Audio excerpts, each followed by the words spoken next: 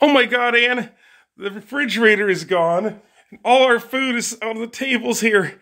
You know what that means, don't you? You have to eat all food? All of it. We have to eat all this right now. Oh my god, you are insane. Come on, let's start eating. Eh?